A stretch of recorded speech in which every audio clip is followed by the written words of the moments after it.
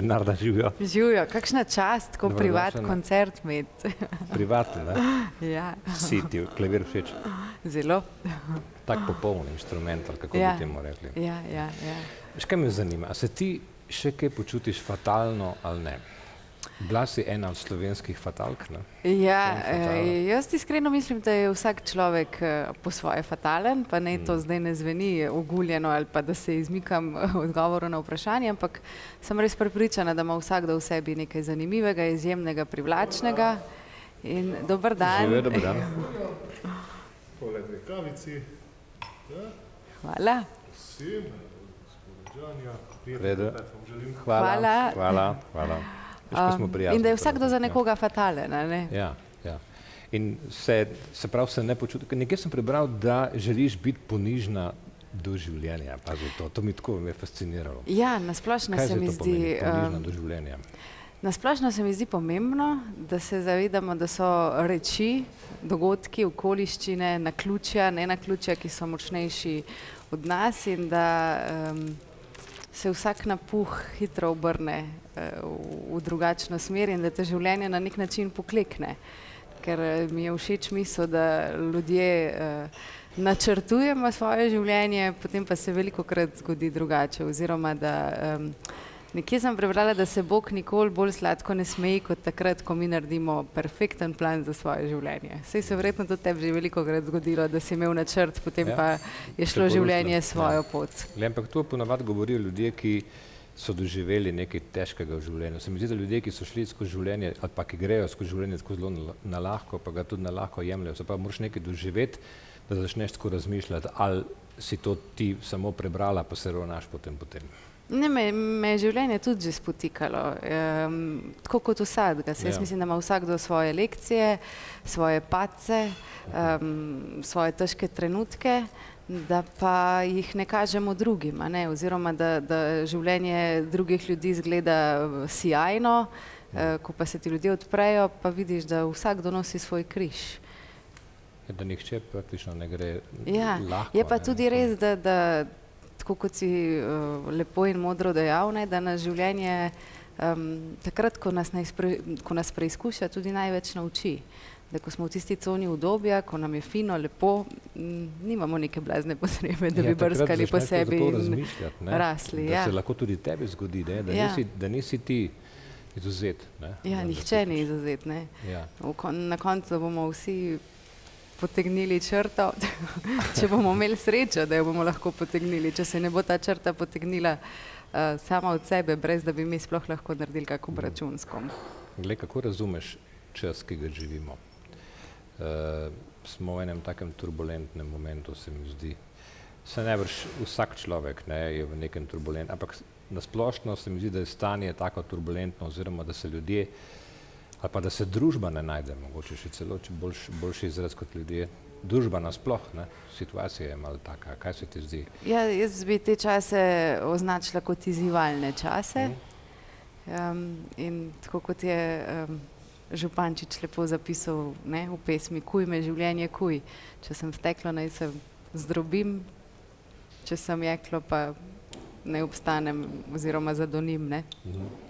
Ampak recimo tako srečuješ, ko hodiš okrog, veliko hodiš po, po Sloveniji, pa vidiš, da, da je situacija malo taka, da smo v nekem, nekem čudnem času, da ni, ni najbolj prijazna do...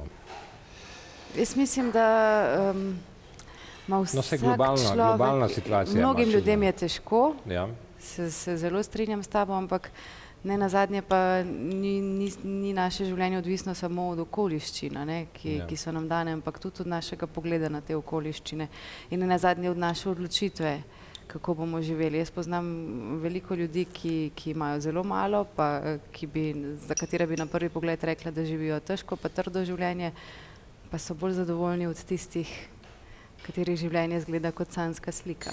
ampak recimo na splošno, če pogledaš mladega človeka danes, ne, te, ne vem, ko končajo srednjo šolo ali pa končajo faks, ne, in kaj zdaj? Ne, se mi zdi, da so ti mladi Ja, jaz sem še tista Da to je še mal nek, še ena druga, ena druga stvar, ne. Jaz sem še tista privilegi, privilegirana generacija, Ja. ja. ki smo načeloma, ko smo končali fakulteto, se vsi nekje nekako zaposlili. Um, je pa res, da, da mi nič v življenju ni bilo podarjeno in da vem, da, da je treba delati, zato da preživiš. In zato morda teh časov ne doživljam tako usodno krutih, ker, um, ker sem počela marsikaj v življenju. Tudi vem, med počitnicami v, v srednji šoli sem že delala, potem v študentskih letih in se mi zdi, da, da ni, ni veselja in Vidiš, to mu- pa nevarno ja, igrati klavir ali pa se naslanjati na klavir. Da mora pač pusti, eh, ja. užitek slediti delu no? in da, Mhm. da ni užitka in veselja uh, samega po sebi, ampak da se je treba za vse potruditi v življenju. Če bi bila predsednik države, recimo, ne, kaj Ne bi bila. Ona. Ne bi bila in se mi zdi, da, da, da je tem našim Nimaš- politikom prav težko, ne glede Ja. na to, eh, koliko slabega, grdega se govori o njih, ampak ko pa kaj dobrega naredijo, so pa redko kdaj pohvaljeni in um, se mi zdi, da moraš biti Imeti- pogumen človek. imeti da- trdo kožo, kako se ja, temu reče. ja, ja, ja. Ja, se pravi, ne, nisi ti ta, ta tip človeka, ki. Da ki bi si želela v politiko, nekje pa. Poglej, pa Pa glej, veliko ljudi kaj- iz tega tvojega foha, se pravi iz televizije ali pa iz ne vem kaj, so potem tako, jih je malo to posrkalo ne, in so, so šli v politiko, ne, ogromno tak. Že zaradi znanega obraza, ne, ker imaš avtomatično prednost pri volitvah. Ne. zdaj se bojim, da se bom kdaj najedla zarečenega kruha. ne. Se zaradi tega. To je Ja. tudi lahko. Ja, je tudi eno mojih načel v življenju, da nikoli ne reci nikoli. Uh, tako da, če bi uh, se dalo, bi te prosila, da pa ta odgovor izrežeš, da me ne hecam se, No, da me se- ne bi kdaj lovili za se besedo. ampak- pogovarjal z eno televizijko, ne, Ja, ni hudič glih, ki je rekla, ne, ne, ne, nikoli, jaz pa ne. In evo jo, Ja. in danes jo imamo, kaj pa ti tebe so vabili v, v politiko že? ma meni, jaz sem bil že v politiki. A res? Tega poglavja Jaz sem tvojega življenja pa ne poznam. skupnosti, prosim. Ja, to, to, to, to je taka fina To poli- politika, to ne? je- Ja, zelo fina. To je politična funkcija, draga ker si izvoljen Ja. od ljudstva. Ne? In katere krajevne skupnosti? Trnovo, tam, kjer sem doma. Ne? In uh, Za župana pa potem nisi kandidiral. Jaz sem je vabil, nisem, še, nisem zbral dovolj poguma. Ne, Aha, nisi še. Ja, ampak ti povem, da to ni enostavno, ne? da tista Ja. ja. najbolj osnovna funkcija, ne? tam si kriv za vsako žarenco, ki ne gori Mhm. okrog. Veš, pa te kličejo ob dveh zjutraj in si že, že je predsednik kriv, ker žarenca ne gori. Mhm. Ne? Tako da ni enostavno. Ne? Ja. Uh, In med politiki je tako kot med eh, vsemi ostalimi poklici ali pa upravili ali pa funkcijami, se mi zdi veliko dobrih, izjemnih ljudi in tudi veliko takšnih, za katere bi bilo bolje, da bi upravljali kakšno do, drugo delo. Ne? No, se te ne bom več v politiko va- Ja. eh, Niti te ne bom spraševal o politiki, ker vidim, da nisi. Me ne boš več vabil v politiko. ne bom vabil v politiko, ker te bo, verjemi, Ja. politika zvabila sama. Ne? No, je rekel Džani Rijavec. Bo, In se bo in, bo, in bo zavrtel ta posnetek In se, spomnila, in se bo spomnila na to kavo. Ne? In bomo rekli, glej, kaj je rekla. Zarečena kava. Vidiš, ne vidiš, kje, kje se je zdaj znašla. Ne? No, se nisem mislil tako hudo. Glej, vendarle si ti uh, televizijski človek ne? in kaj te je pravzaprav uh, preneslo na televizijo? Ne? Kje si, kako se je to?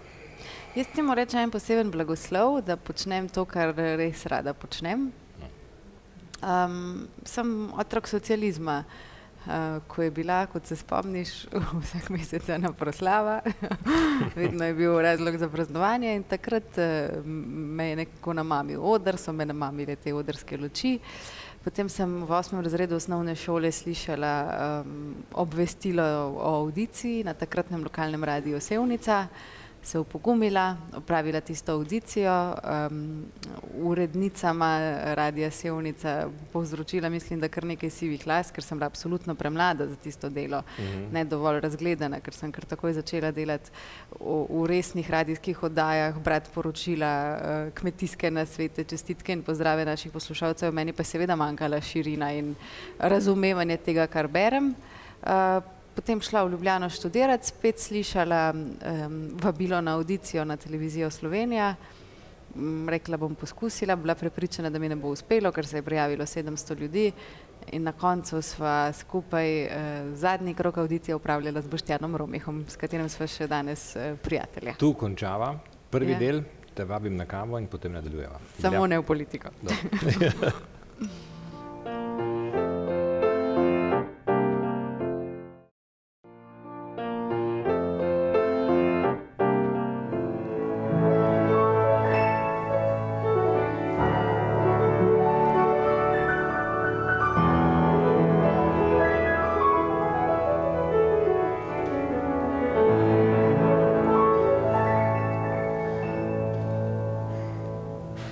In že je drugi del. Dobra že- kava. Ja, ost, super. Meni, jaz sem kavo pivc, tako da veliko pijem kave.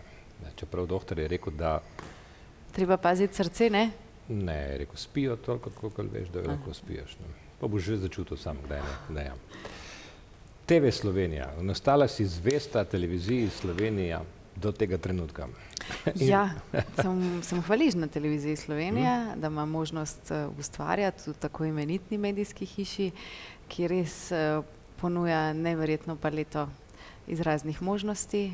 Um, mislim, da smo dobra televizija, da ustvarjamo dober program, da seveda vse ni tako, kot bi moralo biti, ampak da vendarle se ustvari en kup vrhunske produkcije. Ja, gotovo, da. Sej, to je nacionalka, ne, pa, pa je, naj, bi, naj bi bila tista, ki bi bila recimo po, vsaj po produkciji, pa po kvaliteti programa, naj bi morala biti na vrhu, ne?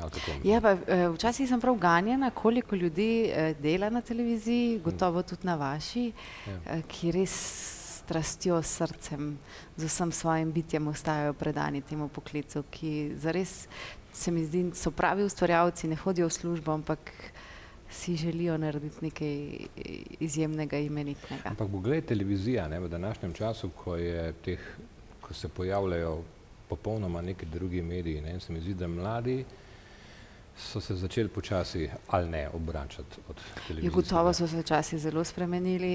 Današnji mladi gledalec, kot ga imenuješ, ne, se Ja. mi zdi, da ne gleda več televizijskega programa linearno, kot smo ga mi včasih, ali pa ga še in, in nikakor ne čaka na določeno oddajo, ampak um, so se vsebine preselile v, v druge, na druge kanale ne, in v drugačne forme.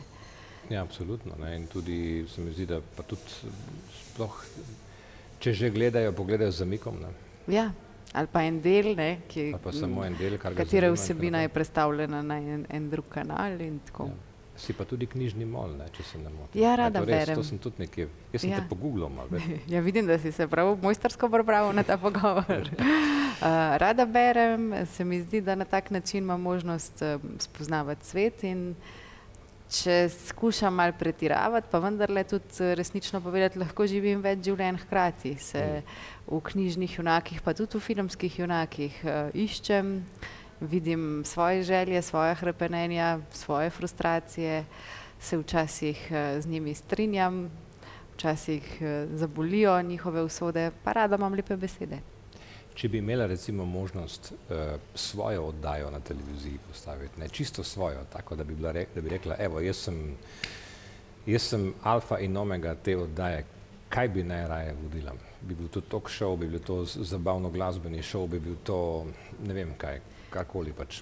Eh, Rada se pogovarjam z ljudmi Hm? in to možnost zdaj v vikend paketu imam. Poleg tega Ja. se mi zdi, da je taka fina, razrahljana forma, kjer um, ljudi spoznavamo uh, v njihovi sproščeni luči. Tudi oddaja Dobra ura, ki sem jo delala predtem, mi je bila všeč. Skratka, karkoli, kar je povezano z ljudmi, s pogovorom z njimi, z gledanjem v oči, z brskanjem po, nji, po njihovih zgodbah. eh, mi je izzivalno in se mi zdi zanimivo, se mi zdi pa pomembno tudi spoštovati ljudi, pa njihove meje. Zato se vselej s sogovornikom prej pogovorim, o čem želi govoriti v javnosti, o čem pa ne. Mhm. In tam oziroma tja ne brskam.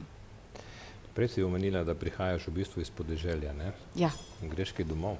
ja, Ja. ja. Rada grem domov, je pa res, da ko grem domov, grem domov. K mami, eh, k očetu, Mhm. k sestri, um, da bi zelo zahajala okrog po domačih koncih, pa nekako že časa zmanjka. In doma si vinogradnik, ali ne? O, oče je vinogradnik, jo jaz bi Ma ti- užalila am- vse prave vinogradnike, če bi ti- dejala, da, da ti zares kaj vemo. vinograd, ne? Ja, grem pomagati, ampak to, jaz sem Trgatev. delavec. Ja, jaz sem delavec, mojstri so pa drugi. Se mi pa zdijo te res pravi vinari, vinogradniki, svoj vrstni umetniki in virtuozi. Kaj ti pomeni ta stik z naravo, ko si, ko si doma, ko greš v vinograd, ko vzameš Vzamete Brento tudi pri vas ali ne? Če, včasih so bile brente, zdaj pa eh, je oče postal tak modern vinogradnik, Mm. ki se v bistvu Imate- s traktorjem, ima svoje- to, a veš, kateri traktor je Tomo? Vinkovič? Ja, no, s tem ja. traktorjem se gre med eh, vrstami, Tam se grozdje nabira v... nasedili, ja. To je zdaj že čisto vse moderno. Brente je dedek še nosil, pokojni. Mhm, mhm. Uh, ja, stik z zemljo je, je koristen, se mi zdi, da, da se nekako ozemlji, dobesedno prizemlji, ker mi ne, živimo v nekih drugih svetovih Ja. in potem se je dobro spomniti, kaj je zares pomembno v življenju. In tudi ta narava, ko smo začeli ta pogovor s, ne, z, s ponižnostjo, nas tudi narava uči ponižnosti, eh, ki nas lahko hitro kaznuje ali pa preseneti in, in nas uči tega, kako smo majhni. Da se v bistvu vidimo, kaj se, kaj se dogaja z naravo. Ne? Ja, ja. Vse te poplave, vem, zmrzali ali karkoli že, ne? čudne stvari.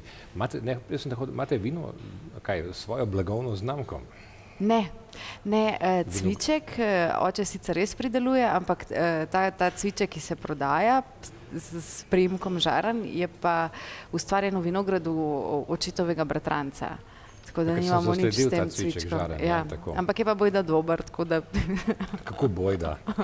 To, kaj za to pomeni? ker da, mi ga še niso prinesli probat.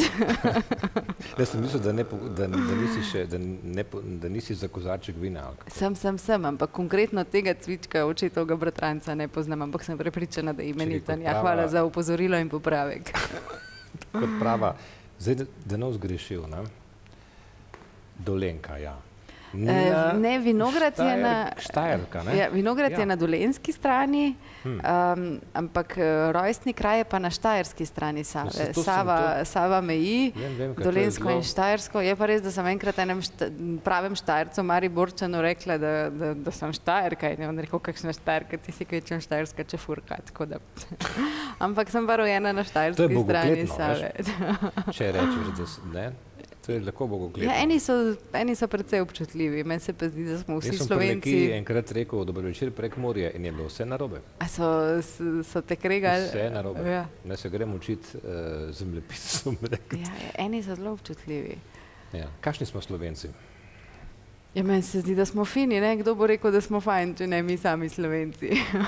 Tako, recimo, a to drži, da smo si zavistni, da, da je da ta slovenska fušija, pa ta slovenska maj. To slišiš vsak dan. Veš, kaj jaz res iskreno verjamem, da smo ljudje bolj glagoli kot samostalniki. Ta misel ni moja, sem jo prebrala v knjigi uh, Zgodbe ob kuhinjski mizi na Omi Rachel. Hmm. In se mi zdi, da imamo vsi možnost za to, da postanemo boljši, drugačni in da, je, da tudi tisti slovenci, ki so fušljivi, pa zaplankani ali karkoli si že rekel za njih, bodo enkrat lahko postali imenitni ljudje. Zakaj ne? Gle, ampak a smo vse Slovenci v teh, teh 25 letih pozicionirali kot uh, država, kot slo, država, ki je domovina Slovenija. Recimo. Jaz sem ponosna slovenka in Ja. verjamem, da je še veliko ponosnih slovencev. Uh, ob tem tvojem vprašanju se mi pa porodila misel, kdo sem jaz, da bi sodila. Ja. Pomembno kot je, da, da se Sloven- sama trudim biti Ja. ja. čim bolj Ja. dobra, poštena, ponosna slovenka. Ne? Kaj te še izpolnjuje v življenju? Pa, tako Poleg, kot- poleg vinograda. Tako kot se sem poleg prej dejala, se mi zdi res ena taka posebna sreča, blagoslov, da, da, da upravljam delo, ki ga imam rada, da srečujem zelo um, zanimive ljudi, od katerih se lahko učim. Hkrati pa, kot si že povedal, rada berem, rada gledam filme, rada hodim gledališče in mm, rada tudi se rekreiram, tečem, smučam, hribolazim. Se mi zdi, da je to kar dovolj za eno samo življenje. Se pravi, uh, televizija bo tvoja, uh, kako se temu reče, je tvoj začetek, sredina in konec, ali kako? Veš, kako bi ti moja pokojna babica odgovorila na to vprašanje? Mm. Tu pa sam Bog ve. Bomo videla, ne, kaj Ja. se bo v življenju zgodilo. z, z tem bi rekel, zanosom govoriš o televiziji, bi človek Ja. rekel, da, da eh, luči televizijskih ne boš V zapustil. tem trenutku mi je lepo, še vidim izziv, izziv v tem delu. Um, če pa mi kdaj več ne bo zanimivo, pa izzivalno, se mi zdi pa prav in pošteno, da bi začela početi kaj drugega, ker moraš imeti rad to, kar počneš. Hvala lepa za govor, hvala, ker si prišla na kavo. Z Želim vse veseljem. dobro. Enako. Bodi in srečno. Tudi tebi vse dobro in hvala za lepo glasbo Ja. in kavo. Hvala tebi. thank you